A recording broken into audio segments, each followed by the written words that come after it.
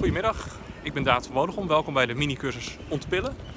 Deze maand gaan we het hebben over botontkalking. Een miljoen mensen slikken vitamine D-tabletten, een half miljoen mensen slikken kalktabletten en honderdduizend mensen nog een andere groep tabletten, allemaal om sterke botten te krijgen. Om sterke botten te krijgen moet je echter je botten trainen. En je kunt je botten trainen door ze te belasten met gewicht.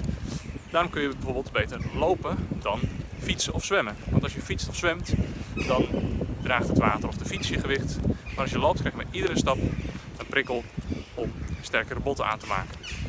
Eh, ze zeggen ook wel eens dat als je de trap omhoog loopt, dan train je je spieren. Als je de trap naar beneden loopt, krijg je bij iedere prikkel sterkere botten.